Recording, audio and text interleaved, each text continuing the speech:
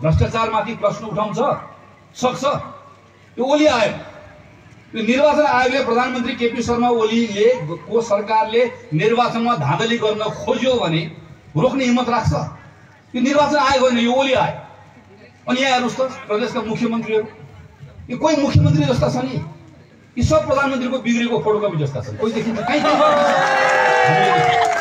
त्यस कारणले गर्दा यस कारणले गर्दा यस कारणले गर्दा यत्रो मौका पाएर अवसर पाएर पनि यत्रो मौका अवसर पाउँदै गर्दाखेरि पनि सुक्नु भएको हुनाले गर्दा सामाजिक सञ्जालमा प्रश्न गर्ने त्यसैले प्रधानमन्त्री केपी शर्मा ओलीको समर्थक त्यो युवकलाई मैले यति मात्र उत्तर दिन सक्छु।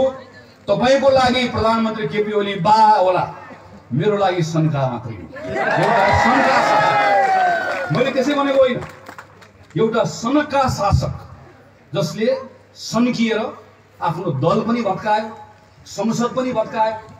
आए यत्रो आएको मौका मैले अघि चर्चा गरेँ यत्रो गिरिजाप्रसाद कोइरालाको नेतृत्वमा शान्ति प्रक्रिया हुँदै दस वर्ष लगाएर संविधान बनाएर जिम्मा दिएको मान्छे अब संविधान भत्काउन लागेको छ। प्रधानमन्त्री ओलीको सनकको ठुलो भारी हामीले चुकाउनु पर्ने अवस्था आएको छ। तर प्रधानमन्त्री ओलीको यो सनक रातारात आएको होइन। यसको निर्माण त्यही नेपाल कम्युनिस्ट पार्टीभित्र भयो। यसको जिम्मेवारी प्रधानमन्त्री ओलीले मात्रै होइन हो मुख्य जिम्मेवारी उहाँले नै प्रधानमन्त्री हुनुहुन्छ तर प्रधानमन्त्री ओलीको निर्माण गर्ने काम त्यो नेपाल कम्युनिस्ट पार्टी सिङ्गो पार्टीले गरेको त्यो पार्टीका तमाम नेताहरूले गर्नुभएको। म माधव नेपाललाई हेर्छु। प्रधानमन्त्री केपी शर्मा ओलीसँग दुई वर्ष तिन वर्ष त्यहाँभित्र बस्दै गर्दा यत्रो पद्धति पद्धति भन्नेले दुई वर्षसम्म पद्धतिको कुरा गर्नु पर्दैन। अघि अघि जितजन बस्तीले चर्चा गर्नुभयो। राष्ट्रपतिले संविधान पहिलो दिनबाट मिच्नुभयो। संसदमा सभामुख एउटा पार्टीको उपसभामुख अर्को पार्टीको हुनुपर्छ भन्ने संविधानमा लेखिएको छ होइन। कृष्णबहादुर महरा एउटा पार्टीको शिवमाया तुम्पा हाम्बे अर्को पार्टीको माओवादीको हो र एमालेको भनेर जाल जेल गरेर बस्ने। शेरबहादुरले सिफारिस गरेको तिनजना व्यक्तिलाई सांसद बनाउनुपर्छ भन्दै गर्दा राष्ट्रपतिले नमाने पनि हुने। अनि प्रधानमन्त्री ओलीले भनेको मान्छेको प्रमुखलाई निर्वाचन आयोगको प्रमुख बनाउने। म योगेश भट्टराई लगायतको साथीहरू सम्झन्छु। त्यो बेलामा हामीले भनेको संसदमा तपाईँहरूको बहुमत छ भनेर अदालतमा सिफारिस भएको प्रधान न्यायाधीशलाई हटाउने काम नगर्नुहोस्। यसरी अदालत चलाउनु भयो भने भोलि तपाईँलाई भारी पर्छ।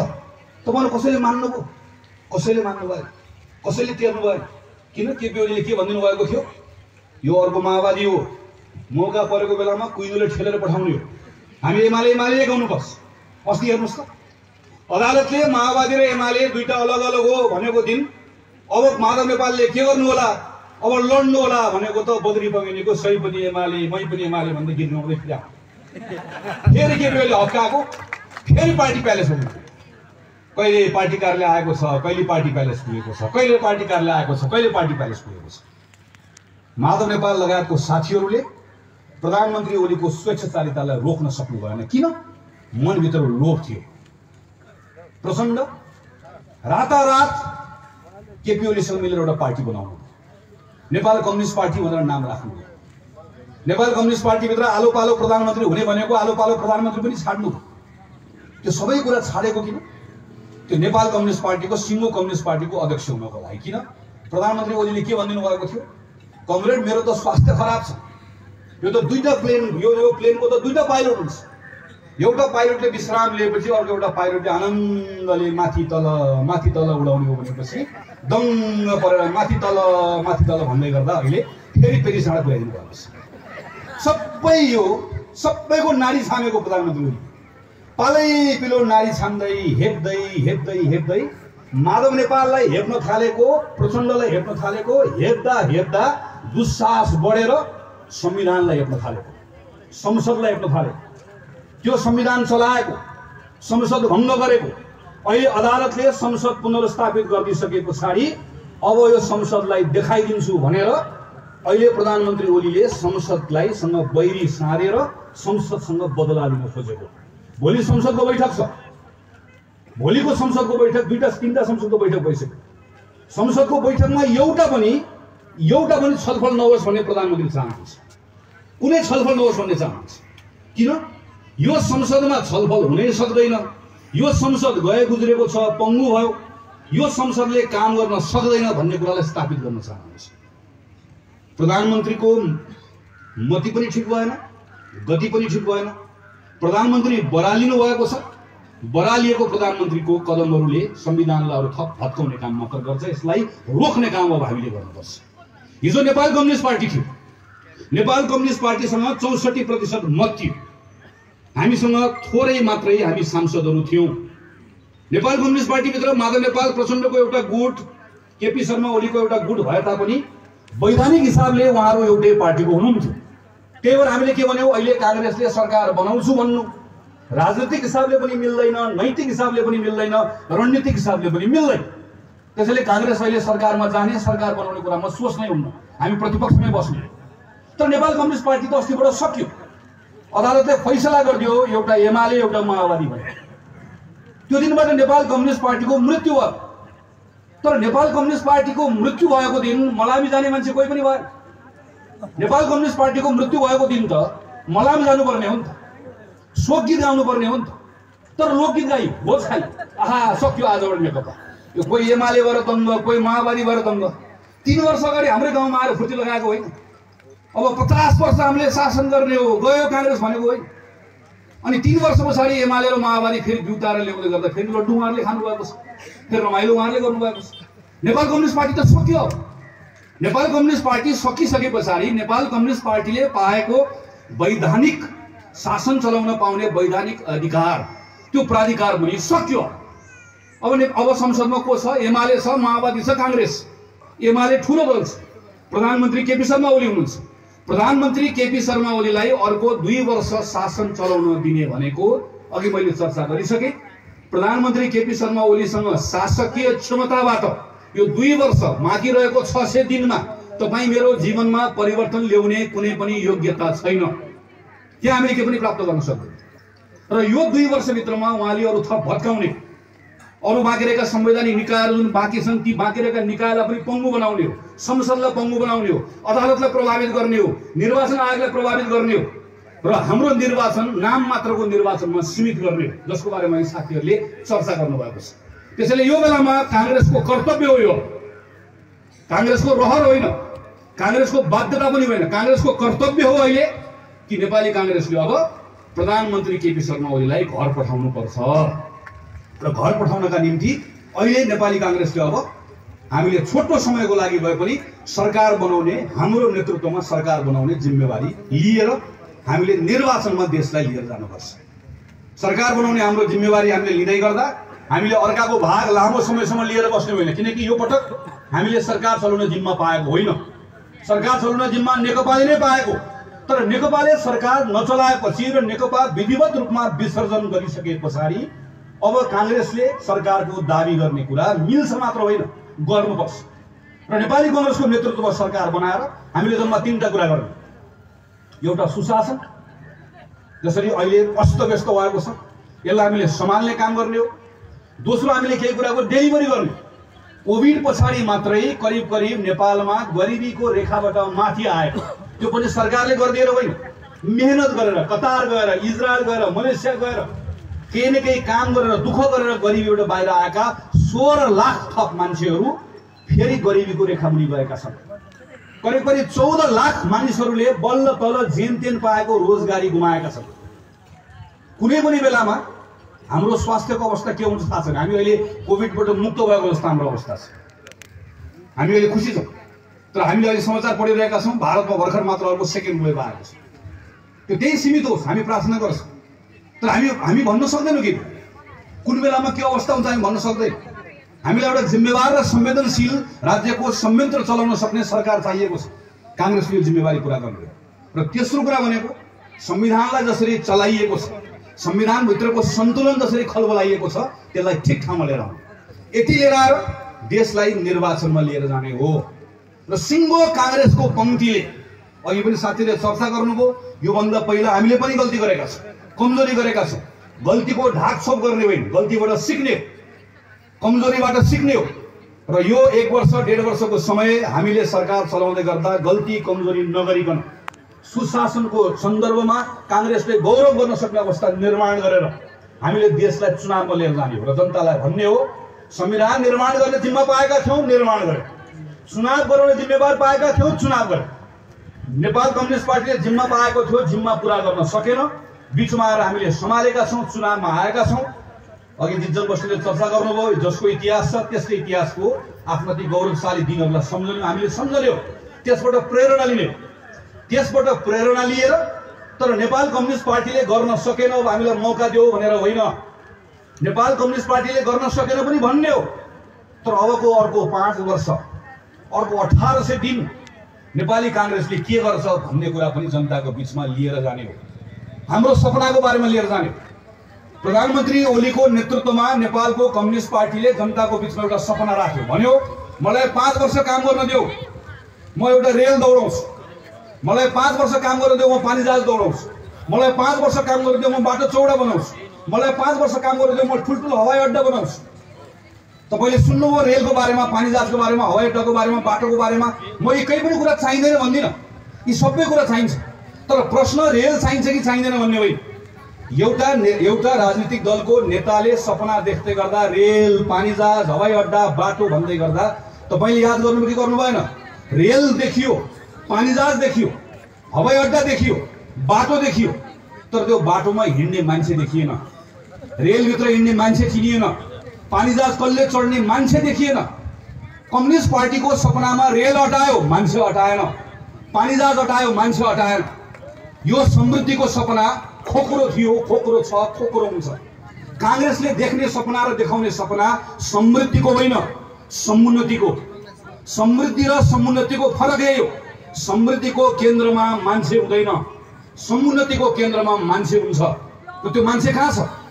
जेन तेन गरेर विद्या कोही कसैले विद्यालयमा पढ्न पाएको छ। विद्यालयमा पढ्न पायो भने कक्षा सक्न पाएको छैन। कक्षा सक्न पायो भने सिक्न पाएको छैन। कथम कदाचित सिकेर बाहिर आयो भने रोजगारी पाएको छैन। कथम कदाचित रोजगारी पायो भने कुनै एउटा रोग लाग्यो भने जेन तेन गरेर जोडेको घरबार सबै बेचेर बाको आमाको आफ्नो उपचार गरेर फेरि कङ्गाल र गरिब बन्नुपर्ने अवस्था आओस् संविधानमा लेखिएको छ खातका खात संविधानभित्र अधिकार लेखिएको छ दलितको अधिकार लेखिएको छ महिलाको अधिकार लेखिएको छ महिला पुरुष बराबर भनिएको छ तेत्तिस प्रतिशत भनिएको छ। तर तिन वर्षको एउटा सानो बालिकादेखि पचासी वर्षसम्मको हजुरआमाको बलात्कार गर्ने त्यो पाशविक सोच भएको मान्छे यही तयार गरिराखिएको छ। एउटा दलित परिवारमाथि भएको बलात्कारको मिलापत्र गरेन भनेर यही तनहुको शुक्ला गण्डकी गाउँपालिकामा नगरपालिकामा एउटा सिङ्गो दलित परिवारलाई नै गाउँबाट बहिष्कार गरिएको छ। यही छ हाम्रो वरिपरि देखिरहेका छ। यही भइरहेको छ। यही यही वरिपरि हाम्रो नागरिकहरू छन्। त्यसैले काङ्ग्रेसले देख्ने समुन्नतिको सपना भनेको जन्मको आधारमा कसको घरमा जन्मियो कसको परिवारमा जन्मियो त्यसको आधारमा कसैको भविष्य निर्धारण हुने कुरालाई हामी बदल्छौँ। नेपालभन्दा बाहिर गएका नेपाली युवकहरू बाध्यताले नेपालभन्दा बाहिर गएका नेपाली युवकहरूलाई नेपालभित्र फर्कने अवस्था निर्माण गर्छौँ। माग्नेहरूको देशबाट कारोबार गर्ने देशका रूपमा नेपालको स्तर उन्नति गर्छौँ। सबल नागरिक भएको समुन्नत नेपाल निर्माण गर्छौँ। सबल नागरिकको पहिलो त्यसको पक्ष भनेको नागरिकको स्वतन्त्रता। बलियो शासक होइन बलियो नागरिक कार्यकर्ता देख्दा नेता डराउनुपर्छ जनता देख्दै गर्दाखेरि जनताको नेता प्रधानमन्त्री डराउनुपर्छ प्रधानमन्त्री राजा होइन। हामी सांसदहरू भनेको तपाईँको प्रतिनिधि हो सेवक हो। हामीले बनाउने व्यवस्था भनेको जनताको शासक जनताको प्रतिनिधि बलियो होइन। नागरिकलाई बलियो बनाउने। र नागरिकलाई बलियो बनाउँदै गर्दा उसका स्वतन्त्रतालाई विस्तारित गर्ने हो। नै पनि साथीले चर्चा गर्नुभयो। मेरा सानसाना दुईटा छोरीहरू छन् म पनि त्यसको चर्चा गर्छु। मेरा सानसाना दुईटा छोरीहरू सात वर्ष र दस वर्षको छोरीहरूले काठमाडौँको राम्रो विद्यालयमा अध्ययन गर्न पाइरहेका छन्। काङ्ग्रेसले देख्ने समुन्नतिको सपना भनेको मेरो छोरी जस्तै नेपालभरिका छोरीहरूले पनि त्यसै गरिकन राम्रो विद्यालयमा पढ्न सक्ने भयो भने बल्ल त्यो समुन्नत नेपालतर्फको हाम्रो पाइला हो। प्रधानमन्त्रीको दुईटा किडनी बदलिएको छ। प्रधानमन्त्रीको दीर्घायुको कामना गर्छु। तर समुन्नत नेपाल भनेको प्रधानमन्त्रीको किडनी बदलिएको जस्तै नेपालको कुनै अर्को एउटा युवकले पनि आफ्नो किडनीमा कुनै पनि त्यसको बदल्नु पर्यो भने घरबार बेच्ने अवस्था नहोस्। राष्ट्रपतिको रगत बदलिएको छ। पहिलो राष्ट्रपतिको पनि दोस्रो राष्ट्रपतिको उपचार भएको छ। नेपालको राष्ट्रपतिको उपचार भएको जस्तै नेपालको एउटा सामान्य नागरिकको पनि उपचार हुने अवस्था निर्माण होस्। त्यो अवस्था बनाउन सकियोस्। हामीले देख्ने समुन्नतिको सपना भनेको यो हो। पन्ध्र वर्षदेखि उन्तिस वर्षको उमेरको प्रत्येक वर्ष चार लाखदेखि पाँच लाख युवाहरू श्रमको बजारमा आउँछन्। हामीले जम्मा तिसदेखि चालिस हजार मात्रै राम्रो रोजगारी सृजना गर्छौँ। अरू मागिरहेका मानिसहरू कहाँ जान्छन्? अनौपचारिक क्षेत्रमा जान्छन्। बाहिर काम गर्न जान्छन्। कतार जान्छन् खाडी जान्छन् प्रत्येक दिन दुई हजार जान्छन्। अनि त्यो युवाहरूले कमाएर नेपालमा पैसा पठाउँछन्। त्यो पैसाबाट अनि हामी गएर भारतमा गएर सामान किन्छौँ। के किन्छौँ? खाद्यान्न लत्ता कपडा यो फुलको माला लगाएको खाँदा। केही बाँकी छैन। सबै हामी त्यहाँबाट किन्छौँ। त्यो किन्दै गर्दाखेरि सरकारले बिचमा ढाक राखेर केही पैसा कर उठाउँछ भन्सार उठाउँछ। त्यो भन्सारले गएर सिंहदरबारको खुत्रेकेमा अलिकति पैसा जम्मा हुन्छ। अनि त्यो पैसा बोकेर सरकार तपाईँको गाउँमा आउँछ के भन्छ भने हाम्रो पार्टी सरकारमा आयो भने वृद्ध भत्ता बढाएर पाँच हजार पुऱ्याइनेछ अनि युवाले ताली बजाउँछ पर ताली बजाउँछ उसले सोध्दै दिनको दुई हजार कतार जान्छ दिनको हजार भारत जान्छ त्यहाँ गएर मान्छे बेच्छौँ हामी उसले कमाएको पैसा नेपाल आउँछ तपाईँको खल्तीमा आउँछ मेरो खल्तीमा आउँछ बजार जान्छ बजारमा गएर सबै सामान भारतबाट ल्याएर किन्छ त्यो किनेको ठाउँमा ढाक रखाएर केही पैसा उठाउँछ त्यो पैसा जम्मा गरेर सरकारले खुद रुपियाँमा हालेर अनि अस्ति भर्खर प्रधानमन्त्रीले भन्नुभएको जस्तो म आएँ भने म ज्येष्ठ नागरिकको भत्ता बढाइदिन्छु भन्छ अनि ज्येष्ठ नागरिकको भत्ता बढाउने पार्टीलाई भोट दिनुपर्छ भनेर युवाले ताली बजाएर जिताएर पठाइदिन्छ। यो अवस्था बदल्ने हो। अब मान्छे बेच्ने होइन। समृद्ध नेपाल भनेको मान्छे बेच्ने हो रहेछ। समुन्नत नेपाल भनेको मान्छे होइन सामान बेच्ने हो। अब श्रमको गन्तव्य खोज्ने होइन। अब हाम्रो बजार खोज्ने हो हाम्रो सामानको बजार खोज्ने हो। त्यो भनेको नेपाललाई औद्योगिकीकरणमा लिएर जाने हो। वर्षौँदेखि काङ्ग्रेसलाई के आरोप लगाइयो? काङ्ग्रेसले जनकपुर चुरोट कारखाना बेच्यो बाँसबारी छाला जुत्ता बेच्यो भुइकुटी कागज कारखाना बेच्यो काङ्ग्रेसले सरकारले चलाएको उद्योगहरू बेच्यो। वर्षौँदेखि लगाएको आरोप अस्ति केही दिन अगाडि प्रधानमन्त्री पनि लगाउँदै हुनुहुन्थ्यो म सुन्दै थिएँ केही दिन अगाडि। गाउँ गाउँमा भन्छ काङ्ग्रेसको कार्यकर्ताले यसको डिफेन्ड गर्दै तरुण दलको कार्यकर्ताले यसको प्रतिवाद गर्दै हो कि हो कि भन्न ठान्छ म तरुण साथीहरूलाई आग्रह गर्छु यो छलफल हुँदै गर्दाखेरि अब भाग्ने होइन यसको प्रतिरोध गर्ने हो। यदि सरकारले चुरोट कारखाना बेच्ने कुरा गलत थियो जुत्ता कारखाने बेच्ने कुरा गलत थियो सरकारले कपडा उद्योग बेच्ने कुरा गलत थियो भने अहिले कम्युनिस्ट पार्टीको एकल सरकार हुँदै गर्दा प्रधानमन्त्री ओलीले चुरोट बनाउने कारखाना किन खोल्नु भयो जुत्ता बनाउने कारखाना किन खोल्नु भयो कपडा बनाउने कारखाना किन खोल्नु भयो किनकि प्रधानमन्त्री ओलीलाई पनि राम्रोसँग थाहा छ सरकारले जुत्ता बनाएर संसारमा कुनै पनि देश नाफामा गएको छैन हामी पनि जाँदैन। कपडा बनाउने होइन चुरोट बनाउने रक्सी बनाउने होइन। सरकारले ठिक नीति नियम र कानुन बनाउने। उद्योग धन्दा भनेका त गाउँमा सहरमा सबतिर अघि नै चर्चा भएको जस्तै निजी क्षेत्रका मानिसहरूले खोल्ने। अरबौँ रुपियाँ नेपाल लिएर आउने हो। मान्छे बाहिर पठाउने होइन पैसा भएको मान्छे लिएर आउने हो यहीँभित्र नेपालीसँग खल्तीमा भएको पैसा बाहिर निकाल्ने। आजको दिनमा अफगानिस्तानभन्दा अगाडि मात्रै छ नेपाल दक्षिण एसियामा। त्यही बङ्गलादेश हेर्नुहोस् त्यही श्रीलङ्का हेर्नुहोस् त्यही भुटान हेर्नुहोस् संसारभरिका मान्छे बोराको बोरा पैसा बोकेर बङ्गलादेश आउँछ। बङ्गलादेशमा आएर गार्मेन्ट खोल्छ बङ्गलादेशमा आएर औषधिको उद्योग खोल्छ अनि बङ्गलादेशले औषधि बेच्छ जुन औषधि तपाईँ र म खान्छौँ। बङ्गलादेशले बनाएको लुगा लत्ता कपडा संयुक्त राज्य अमेरिकाका मानिसले समेत त्यसलाई लगाउँछन् अनि हामी चाहिँ केटा र केटीलाई कतार पठाएर इजरायल पठाएर अनि तिनले कमाएको पैसा ल्याएर चिन र बङ्गलादेशको सामान ल्याएर किनेर खाएर त्यसबाट नै हाम्रो घर धन्दा चलाएर बसेका छौँ। यो अवस्था फेर्ने हो। कसले फेर्ने हो? हामीले फेर्ने हो। काङ्ग्रेसले फेर्ने हो। काङ्ग्रेस जनताको बिचमा आउँदै गर्दा यो प्रतिबद्धता लिएर जाने हो। हामी कतार गएका केटाकेटीलाई फर्काउँछौँ। कोरिया मलेसिया गएका साथीहरूलाई फर्काउँछौँ। इजरायल गएका बहिनीहरूलाई फर्काउँछौँ। तिनलाई यहीँभित्र मर्यादित रोजगारी पाउने अवसर निर्माण गर्छौँ। हामीसँग त्यो नीति पनि छ। हामी हामीलाई हामीसँग हामीले सरकार चलाउने गर्दा त्यो विश्वास पनि हामी दिलाउन सक्छौँ। तिनले कमाएको पैसाबाट जब तिनले कर तिर्छन् अनि सिंहदरबारको खुत्रुकेमा पैसा भरिन्छ सामान बेचेर आएको पैसाबाट भरिन्छ मान्छे बेचेर आएको पैसाबाट होइन अनि ज्येष्ठ नागरिकको भत्ता चार हजार होइन आठ हजार पुऱ्याउला दस हजार पुऱ्याउला तर युवालाई बेचेर ल्याएको पैसाबाट होइन। युवाले यहाँ काम गरेर तिनले कमाएर पठा तिनले तिनले बेचेको तिनले बनाएको सामान बेचेर त्यसबाट आर्जन भएको पैसाले देश चलाउने घर चलाउने हो। यहाँ घर धन्दा चलाउने यो अवस्था निर्माण गर्ने। यो अवस्था निर्माण गर्नका निम्ति नेपाली काङ्ग्रेसले अब म तपाईँहरूलाई आग्रह गर्छु गाउँ गाउँमा यो केही समय हामीले सम्हाल्नु पर्नेछ स्थानीय सरकारको साथीहरूले राम्रो काम गर्नुभएको छ। सानो कतिपय ठाउँमा हामीलाई जाँदै गर्दाखेरि स्थानीय सरकारमा हाम्रो साथीहरूले कतिपय ठाउँमा सही काम गर्ने कुरामा नसक्दा नचुक्दाखेरि हामी अप्ठ्यारो भएर फर्केर आएका छौँ। तर साङ्जा आउँदै गर्दा हाम्रो अनुभव फरक छ। चाहे त्यो अर्जुन चोपडाको होस् चाहे यहाँको हाम्रो यहीँको होस् भिरकोटको होस् चाहे हाम्रो यहीँ हाम्रो हाम्रो चापाकोटको होस् चाहे हाम्रो वालीको होस् हामी सबैतिर जाँदै गर्दा यहाँको यहाँको नगरपालिका उदाहरण लिएका छौँ म आग्रह गर्छु अझै बढी मेहनतका साथमा अझ कतिपय गल्ती कमजोरी भएका छन् हुन्छन् काम गर्दै गर्दा छन् भने त्यसलाई अझ थप सच्याएर हाम्रो स्थानीय सरकारले यहाँ काम गर्नुपर्नेछ।